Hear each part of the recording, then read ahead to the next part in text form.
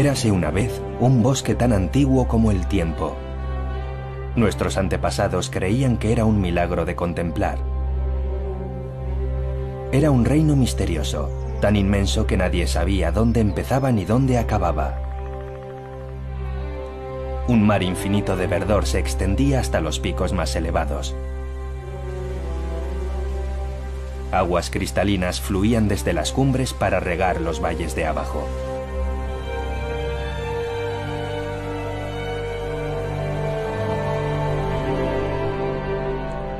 Y donde hay agua, hay vida.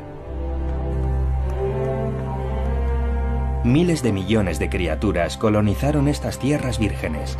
Los ríos llevaban infinidad de peces en sus aguas y el cielo estaba repleto de aves.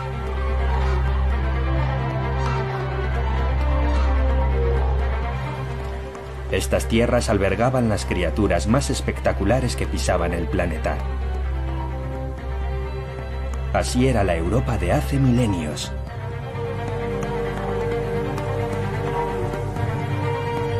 Y nosotros éramos parte de esa naturaleza.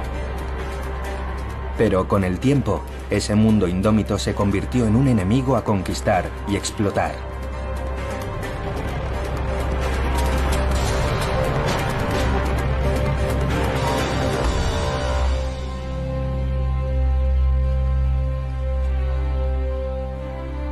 Como en el milagro de antaño, la vida salvaje resurge poco a poco de sus cenizas. En un territorio conocido como los Montes del Lobo.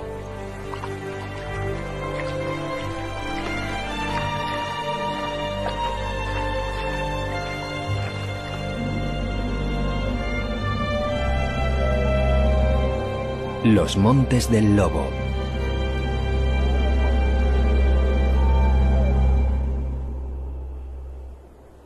Esta región, en los límites de Eslovaquia, Polonia y Ucrania, forma parte de la cadena montañosa de los Cárpatos Orientales.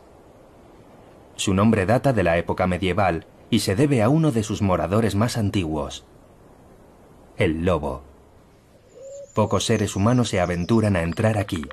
Es un reino de depredadores y presas. El hogar de multitud de formas únicas de vida silvestre, animales que dominan uno de los ecosistemas más complejos de Europa. La idea de un paraíso perdido en pleno corazón de Europa inspiró a tres cineastas eslovacos para viajar hasta los Montes del Lobo y descubrir cómo la naturaleza empieza a recuperar su gloria de antaño. Su mayor reto es captar imágenes del comportamiento de los animales silvestres en un terreno tan complicado. Esperan poder filmar a animales que llegaron a estar al borde de la extinción, como el bisonte, el castor y el lobo, y cuya presencia actual es señal inequívoca del retorno de la vida salvaje. Son animales esquivos, pero el equipo está decidido a no usar medios artificiales para atraerlos.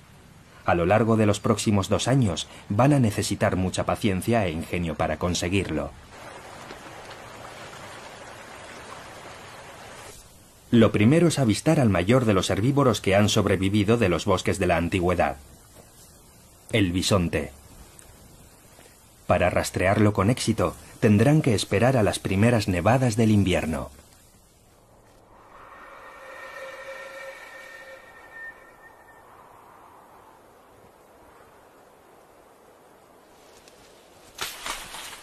Cinco décadas atrás se reintrodujo aquí, en la parte polaca de los Montes del Lobo, una pequeña manada de bisontes europeos criados en cautiverio. Ahora sus descendientes recorren libremente estos bosques. El equipo tiene que recorrer decenas de kilómetros hasta avistarlos.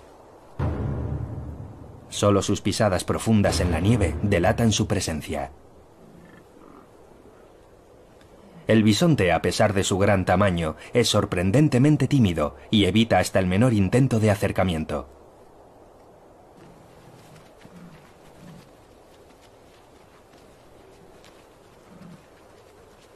Ver a un bisonte en libertad es como viajar atrás en el tiempo. Y el sueño de descubrir el mundo salvaje de antaño empieza a cobrar realidad.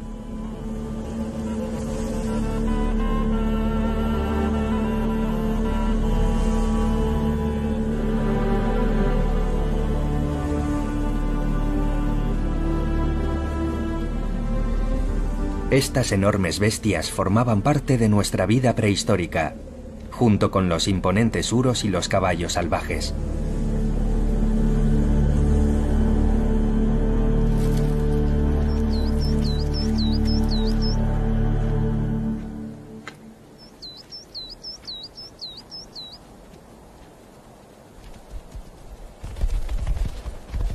Como sus antepasados, estos grandes herbívoros se alimentan de toda clase de material vegetal y pueden alterar radicalmente el entorno en el que viven. Las generaciones sobrevivientes del caballo salvaje son los ponis de los Cárpatos, una de las razas autóctonas de pony más antiguas de Europa. En invierno, comen los brotes que encuentran bajo la nieve y sienten especial debilidad por la corteza de árbol. Esta estación destructiva mata árboles, pero también crea espacios abiertos. Gracias a ello, pueden brotar una amplia variedad de hierbas y arbustos que forman un hábitat para miles de otras especies. Es una gestión forestal completamente natural.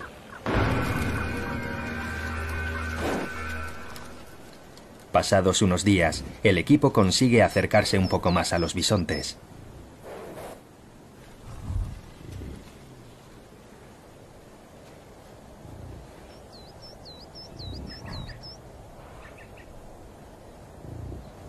Esta manada cuenta actualmente con un total de casi 300 miembros y es la mayor población de bisontes de toda la región de los Cárpatos. Su número sigue siendo muy inferior al de siglos anteriores, pero se espera que crezca a medida que la manada vaya colonizando nuevos territorios más alejados. El equipo espera tener ocasión de encontrarse con estas bestias primigenias en otra parte de su recorrido por la naturaleza salvaje.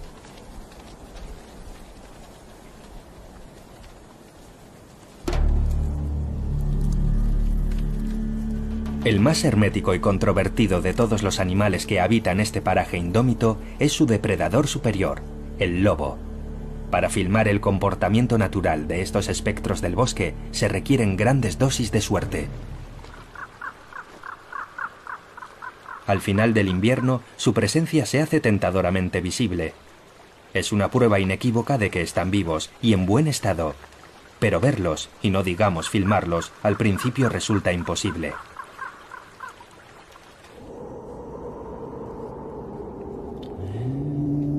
El ser humano mantiene una relación con el lobo tan antigua como con el bisonte y el caballo salvaje, aunque más íntima.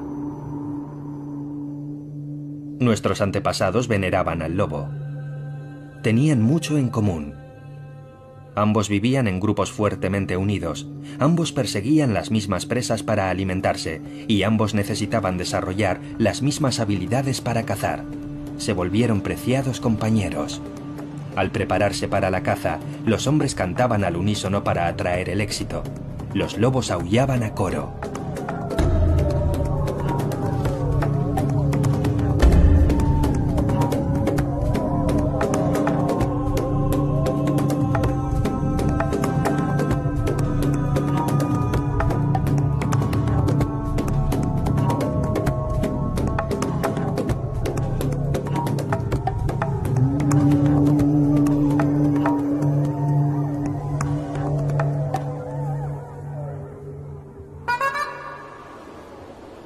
En la Edad Media, esta relación cambió radicalmente y a principios del siglo XX se había dado caza al lobo hasta llevarlo al borde de la extinción.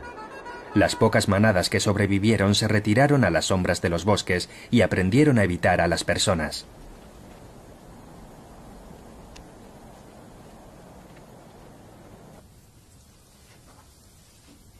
Tendrán que pasar seis meses para que consigan ver en carne y hueso a estos animales legendarios. Dos lobos adultos y uno joven aparecen en un pequeño claro del bosque y marcan su territorio.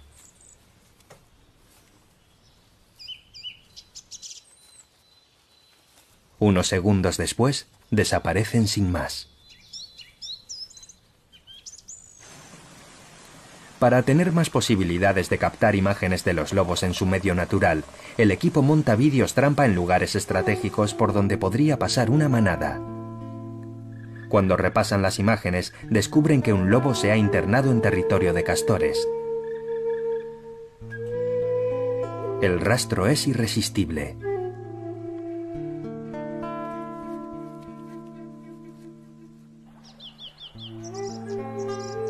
Como el bisonte y el lobo, el castor fue otra especie prácticamente erradicada en toda Europa. Para los cazadores prehistóricos eran alimentos de fácil acceso. Había en abundancia y era seguro cazarlos. Por eso era la proteína que más consumían.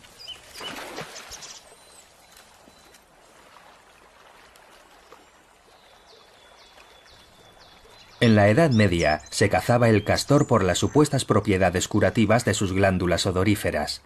Además, debido a su cola escamosa y sus pies palmeados, se pensaba que el castor era mitad pez y esas partes de su cuerpo se consumían bastante los días en que estaba prohibido comer carne.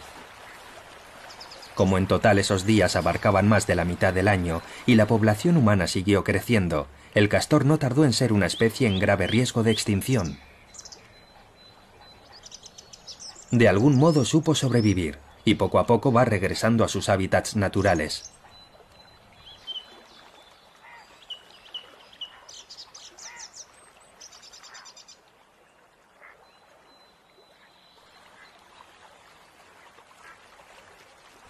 Aquí, en la parte polaca de los Montes del Lobo, hay múltiples señales de su extraordinaria actividad.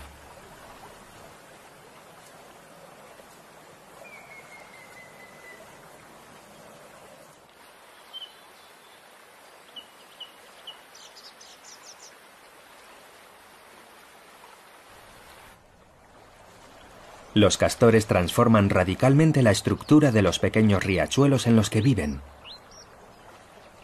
Gracias a sus voraces hábitos alimentarios, abren pequeños claros en el bosque y con ello crean espacios abiertos que atraen a numerosas especies de plantas que aman la luz.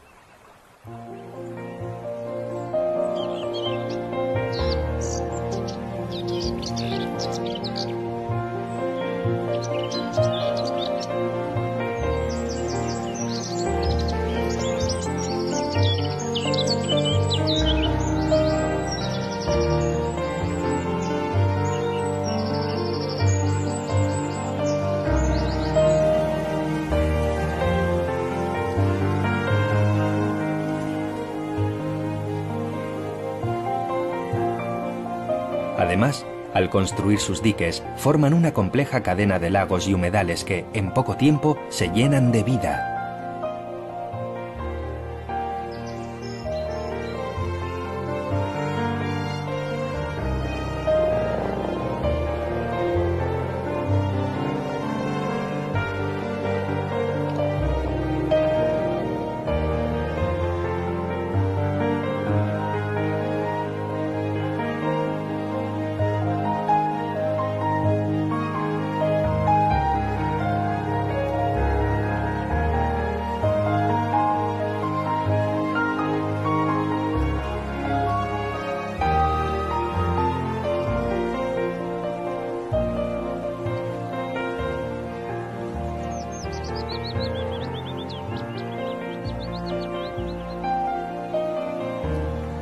Estos humedales proporcionan también ricos territorios de alimentación a cazadores como la cigüeña negra y numerosas aves.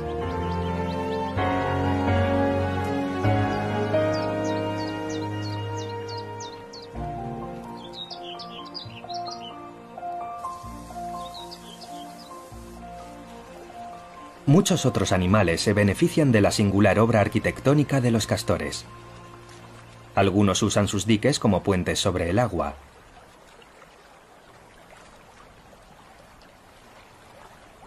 Por desgracia para el castor, también sirven de plataforma a los depredadores hambrientos para saltar sobre sus presas.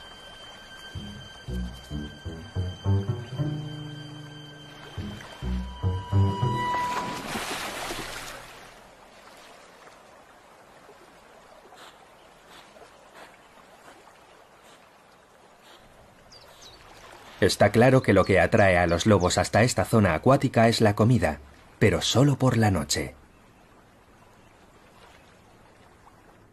Una noche empiezan a oírse sus aullidos a lo lejos.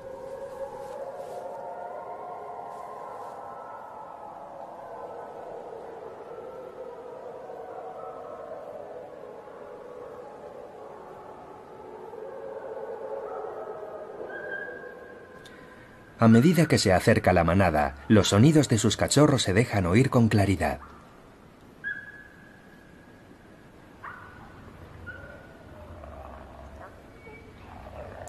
Por los sonidos que llegan, claramente han matado a un castor en las proximidades para una cena a medianoche.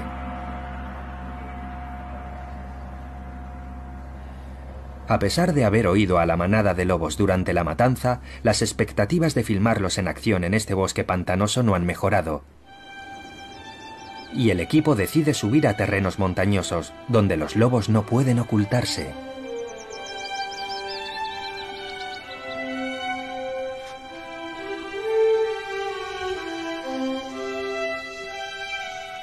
A mayor altitud, la hierba fresca de las praderas alpinas atrae a numerosos ciervos y corzos.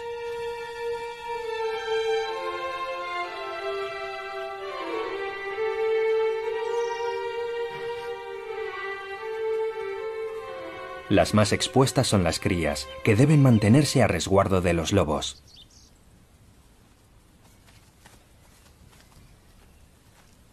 Pero aquí, durante los meses de verano, el ciervo parece llevar una existencia despreocupada casi por completo.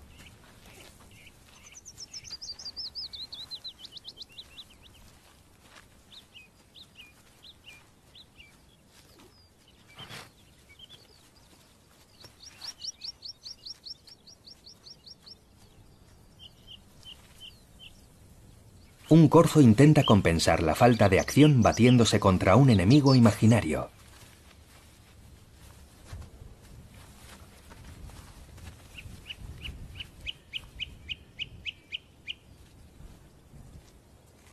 Pero los esquivos depredadores, ni siquiera ante la tentación de unos platos servidos como estos, se dejan ver ni oír.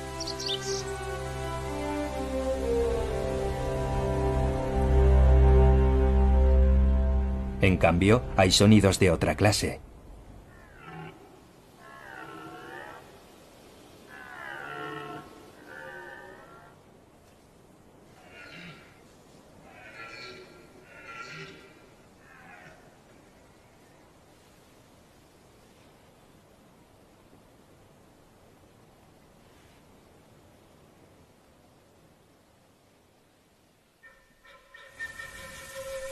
El verano está llegando a su fin y empieza la época de celo de los ciervos.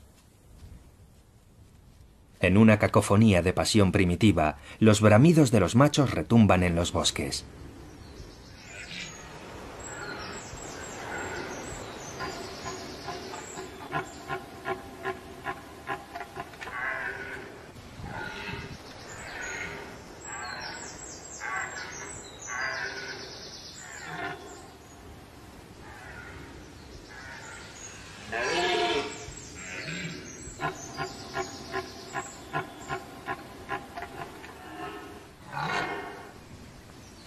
Los machos deben competir entre ellos para conseguir la atención de las hembras.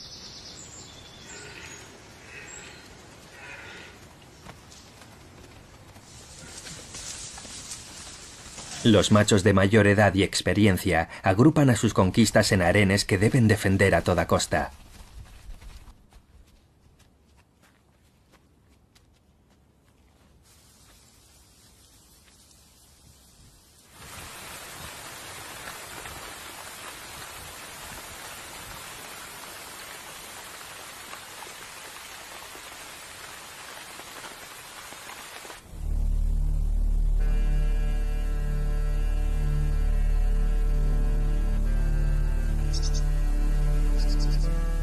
Ha pasado un año desde que empezó la filmación, y los lobos siguen empeñados en no asomarse.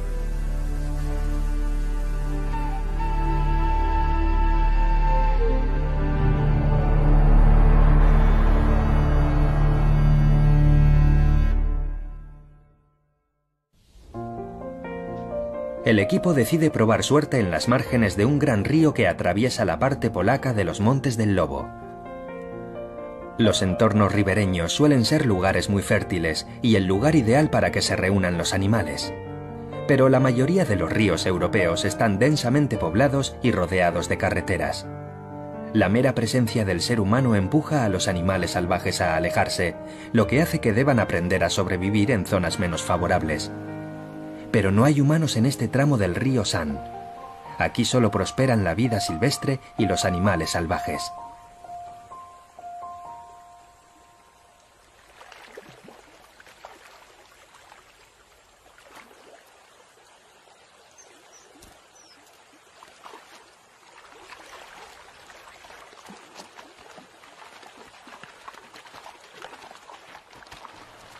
Es un lugar preferido por los animales para cruzar y lo hacen en grandes números.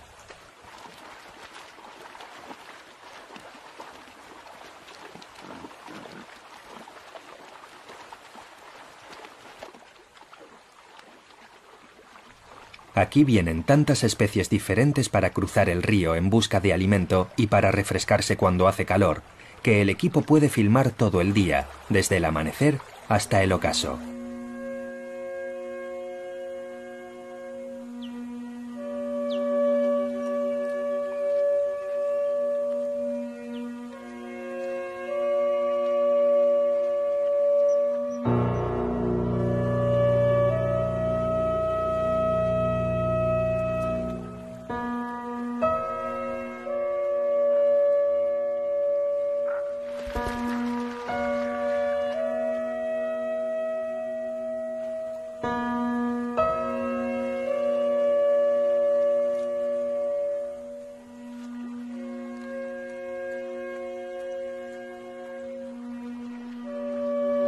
Los animales no tienen dónde esconderse y en muy pocos días se ven más que en todo el año anterior.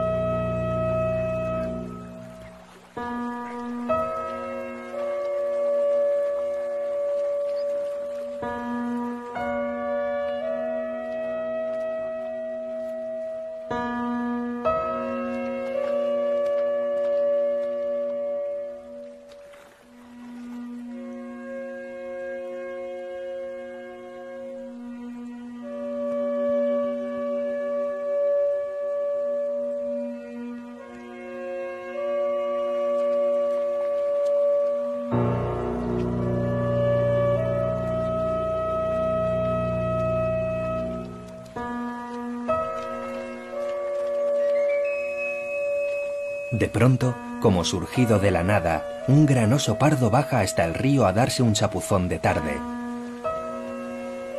No es nada habitual encontrarse con algún ejemplar de uno de los mayores mamíferos salvajes de Europa.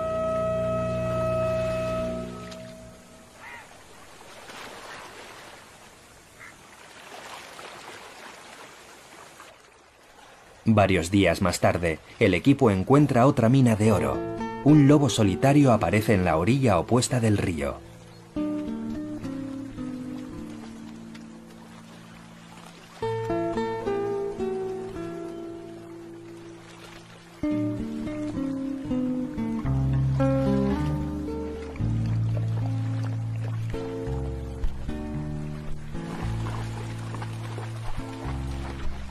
Su barriga llena parece indicar que ha comido recientemente y que tiene su presa cerca de aquí.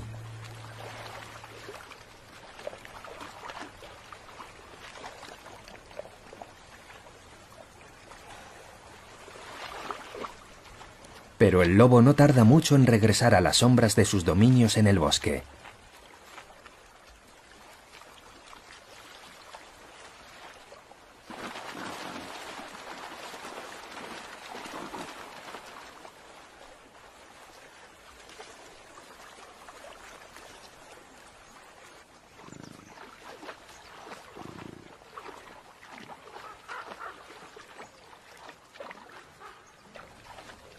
Los animales más grandes y fuertes que frecuentan este paso del río forman una de las manadas más numerosas de bisontes de la región.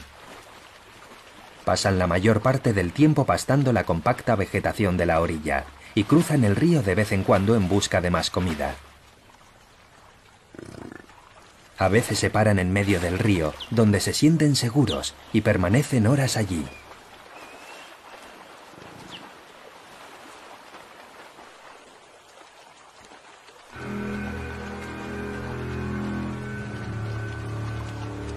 La manada avanza río arriba poniendo de manifiesto su increíble poderío. La tierra parece temblar bajo sus pezuñas.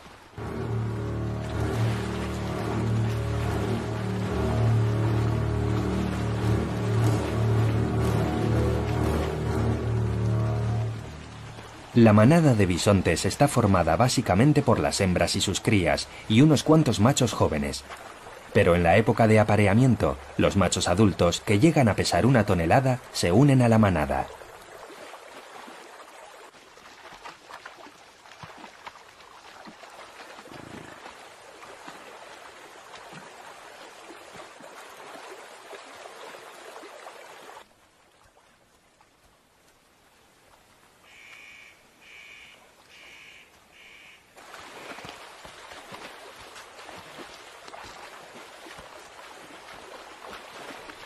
El macho sigue a su posible pareja a todas partes.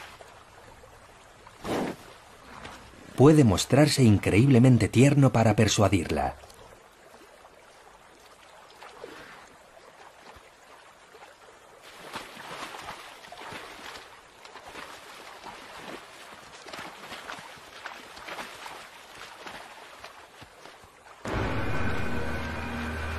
Estos machos adultos no se comportan como los otros, andan inquietos, buscando pelea.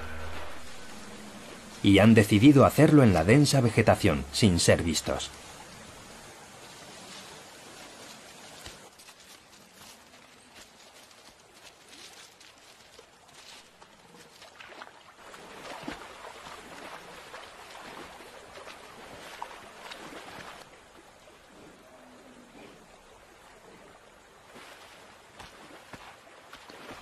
Uno de los machos baja al río tras el violento encontronazo.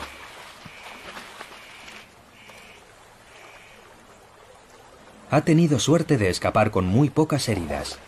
Estos combates no solo conllevan la expulsión del contrincante más débil, sino que pueden ocasionarles la muerte.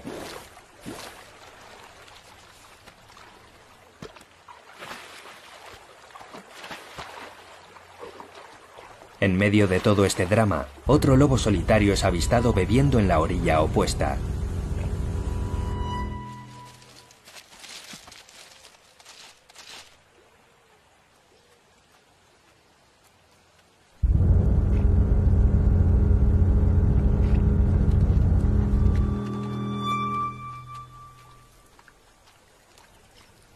Durante un día o así, no habrá más avistamientos de lobos pero sí del gran oso, que ha vuelto al río a darse un baño.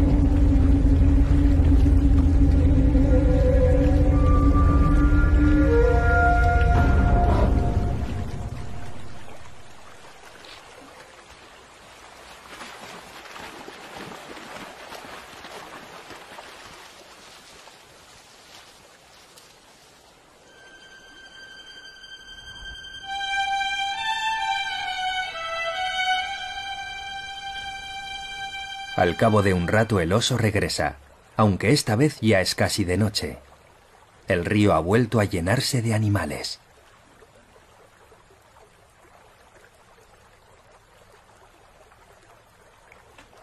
Un jabalí reúne el valor suficiente para plantarle cara. Y el oso se retira prudentemente a toda prisa.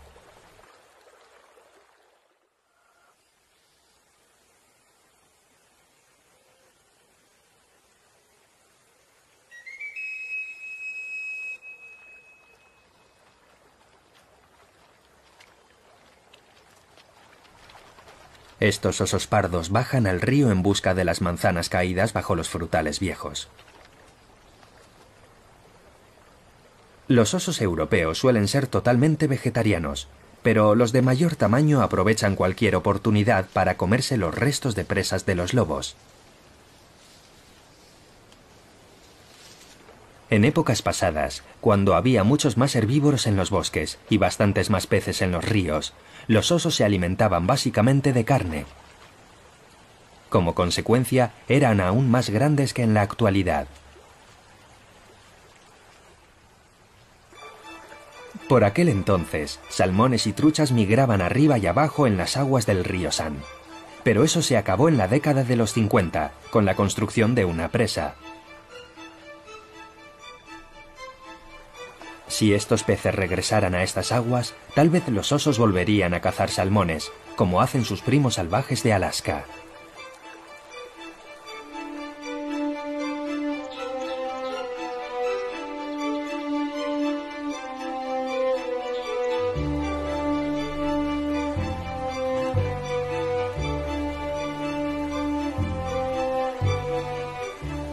La abundancia de animales que encontramos en el río San es extraordinaria, pero la vida que hay aquí solo representa una parte minúscula de lo que el mundo natural es capaz de sostener. Sin la intervención humana, las poblaciones de animales serían muy superiores y los avistamientos de lobos y osos mucho más frecuentes. Este reducido enclave de naturaleza virgen es un reflejo real de cómo podría ser la naturaleza si se la dejara a su ser.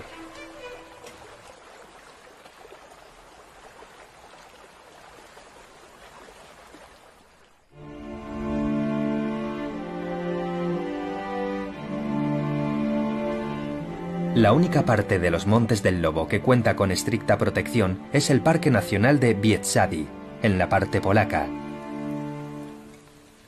pero las zonas bajas aledañas al parque carecen de protección.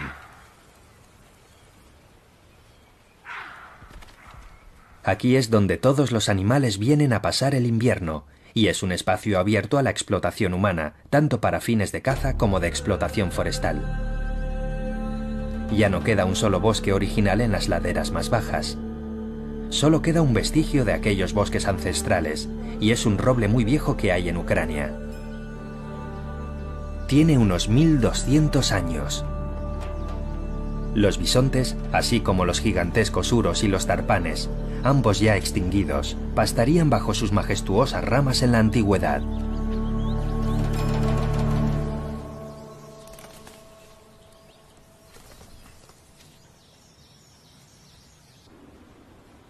Pero a mayor altitud, algunos de estos bosques aún sobreviven. Esta es una de las regiones con mayor diversidad biológica de Europa. Uno de los bosques mejor conservados se extiende por la parte eslovaca de los Montes del Lobo. Es la Reserva Natural de Stuchica. Aquí, algunos árboles alcanzan 56 metros de altura y 2 de espesor. Este ecosistema de bosque primitivo de abeto y haya alberga centenares de especies, desde insectos y pájaros hasta hongos y anfibios, como la enigmática salamandra.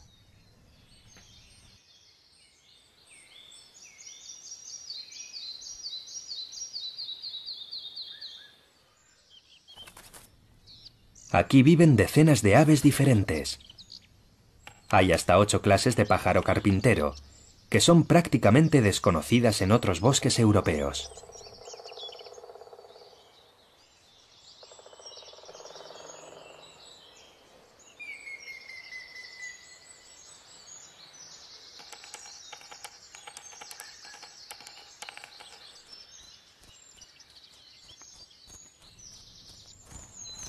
Un agateador construye un nido bajo la corteza despegada de un haya.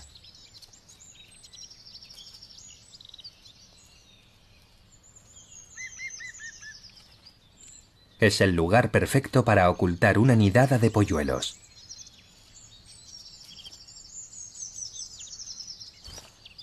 A su vez, un mochuelo alpino aprovecha los huecos creados por los pájaros carpinteros para hacer su nido. Es un depredador temible. Aparte de otros pájaros más pequeños, también caza roedores.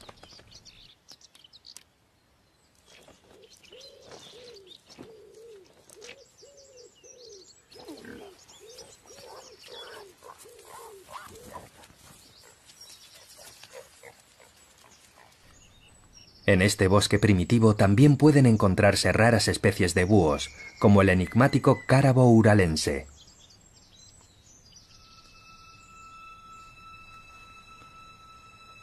Pero el bosque es el hogar elegido por la población de lobos. Aprovechan todas las ventajas que ofrecen las sombras de los árboles para acechar y capturar a sus presas, que suelen ser ciervos.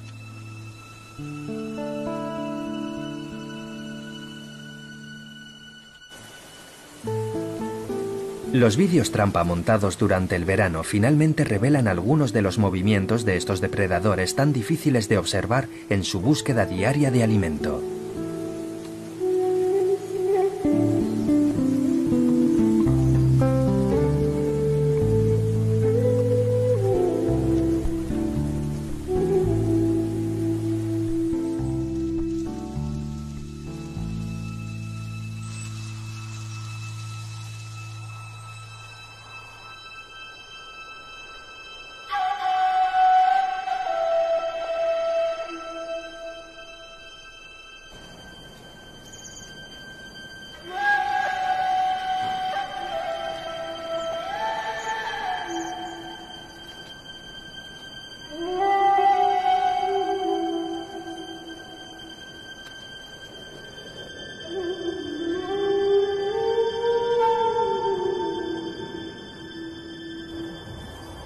El invierno ha llegado con ganas a los montes del lobo.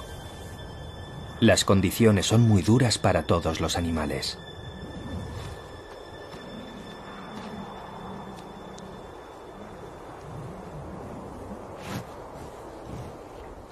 Los herbívoros, como el bisonte y el ciervo, deben bajar a los valles, donde hay menos nieve y es más fácil encontrar comida.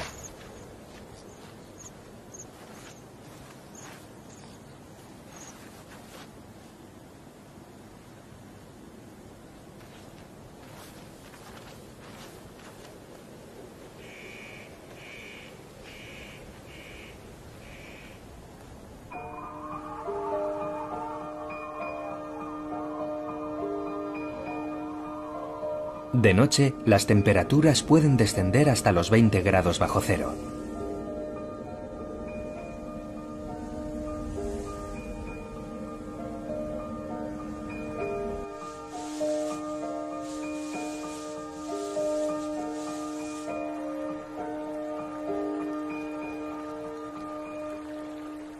Los animales cruzan el río San en su incesante búsqueda de alimento.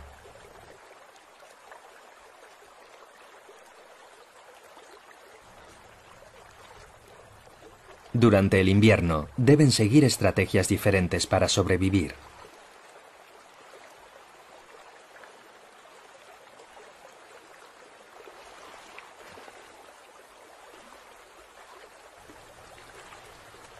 Algunos encuentran comida bajo el agua, otros en la corteza de los árboles nevados.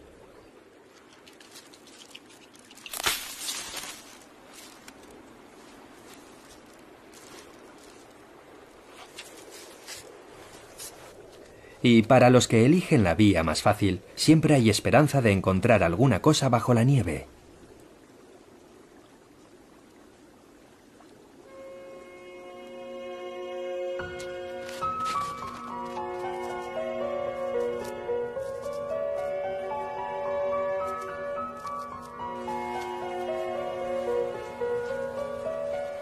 Una familia de jabalíes que el equipo ya filmó en verano vuelve al río. Las crías han crecido visiblemente. Solo sobrevivirán las más fuertes. Todo depende no solo de su habilidad para encontrar alimento, sino también de la condición física de todos los animales al final del otoño. Si están en buena forma, tendrán más probabilidades de sobrevivir un año más. Algunos no lo conseguirán, pero el invierno tiene sus ventajas. Un cadáver en este paraje indómito sirve de sustanciosa comida a otros animales. En este ciclo eterno de vida y muerte, conviene comerse lo que uno encuentre.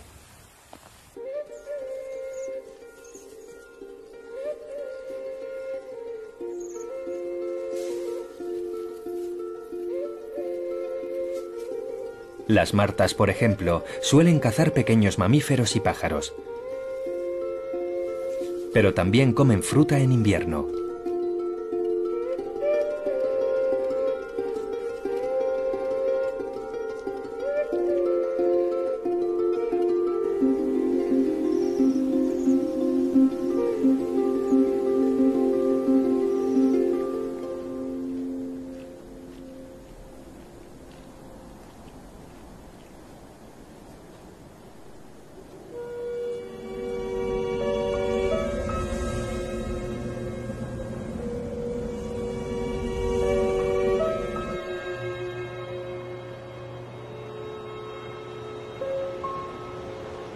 Este invierno está siendo más frío de lo normal.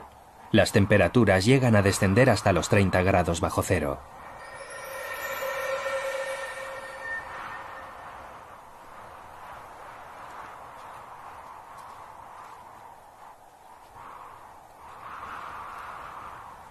El río está completamente helado y es la única superficie que no está cubierta por una espesa capa de nieve.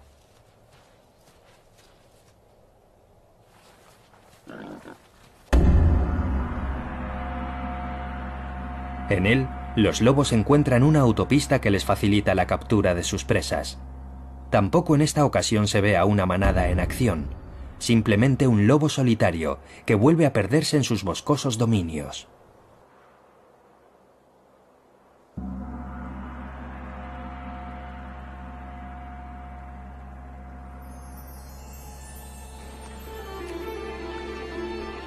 Al cabo de unos días, las temperaturas empiezan a subir y comienza el deshielo.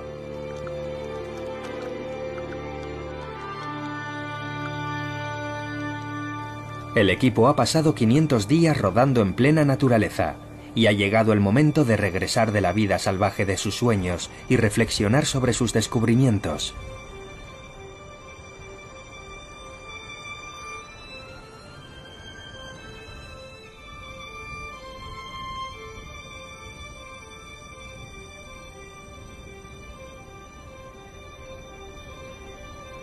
Aquí, en los Montes del Lobo, las oportunidades de avistar al animal que da nombre a esta región indómita son muy pocas. Sin embargo, el reino de este sigiloso depredador máximo se extiende sobre los ríos, bosques y montes que conforman este ecosistema único y diverso.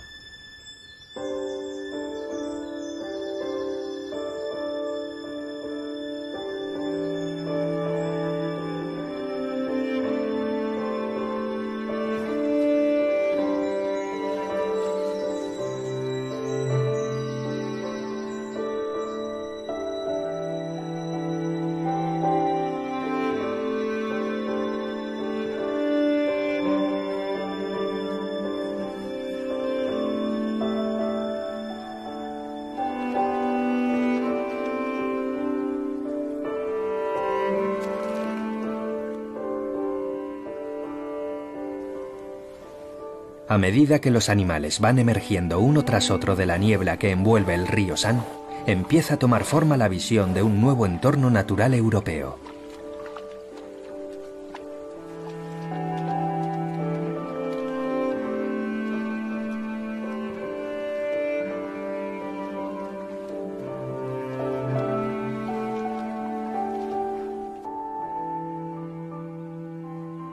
Es un reino hermoso, rebosante de vida y habitado por toda clase de criaturas, grandes y pequeñas.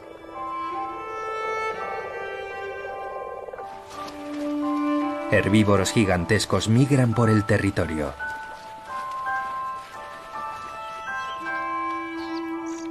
Raros mamíferos acechan en sus ríos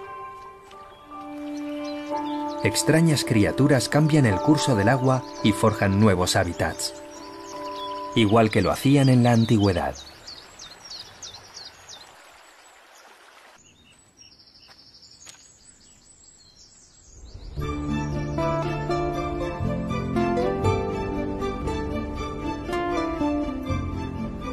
Las generaciones actuales rara vez han visto un paraje natural con tanta autenticidad. Lugares así se encuentran en África y en Norteamérica, pero no hay prácticamente nada comparable en Europa.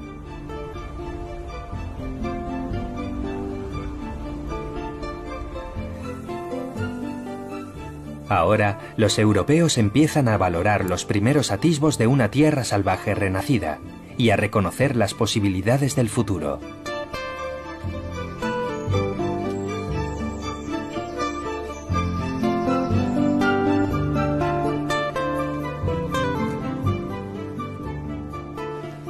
Pero la naturaleza aún no es libre de evolucionar, ni siquiera en los montes del lobo. Las zonas bien protegidas aún son muy reducidas. Si se protegieran mejor espacios más extensos, donde la naturaleza pudiera cuidar de sí misma, prosperaría mucha más vida silvestre.